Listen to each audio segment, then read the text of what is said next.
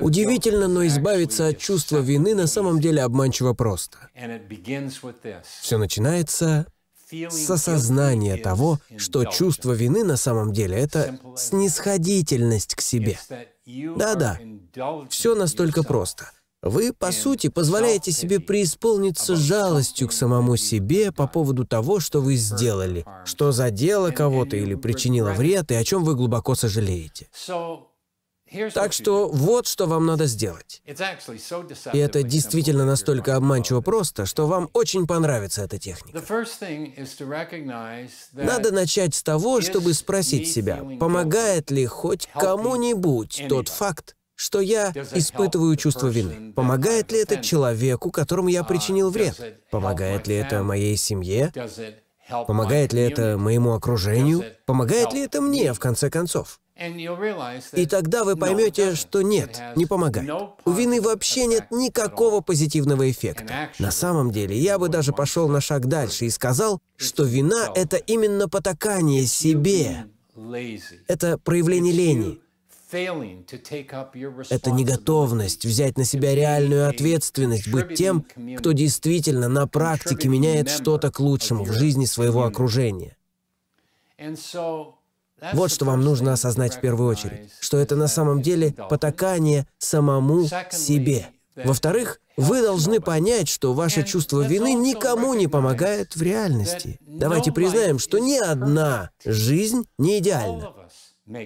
Мы все делаем ошибки, иногда очень тяжелые ошибки. Я знаю, что в своей жизни я совершал те ошибки, о которых я очень жалею, что я глубоко ранил и обижал некоторых людей, что я делал такие вещи, о которых я сожалею, и я сам не понимаю, почему я так поступал. И я могу сказать, что я очень сожалею, но я не испытываю чувство вины. Потому что чувство вины — это неспособность простить себя. Вот настолько просто. Мы готовы прощать других, но часто не умеем прощать себя. Знаете, я простил себя за все то, что сделал неправильно. Потому что кроме этого я сделал и много хорошего как, вероятно, и вы.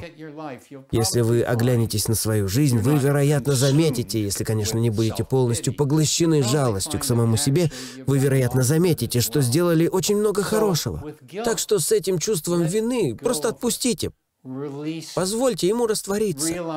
Поймите, что вы не идеальны. Я не хотел бы, чтобы вы оправдывали себя, но, с другой стороны, это не должно сдерживать и мешать вам в жизни.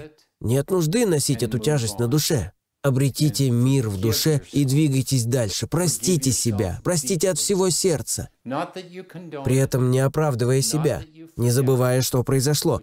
Но просто простите сами себя, чтобы ушел тот эмоциональный заряд, который сдерживает вас. Ведь именно вина не дает вам полностью реализовать то, насколько вы замечательный, выдающийся человек, раскрыться в том, кем вам суждено стать. И, возможно, вы заметите, что именно преодоление этого чувства вины будет для вас катализатором к росту и откроет дорогу тому новому, невероятному человеку, которым вы хотите быть, и все это в ваших руках. Только вам решать. Выбор за вами.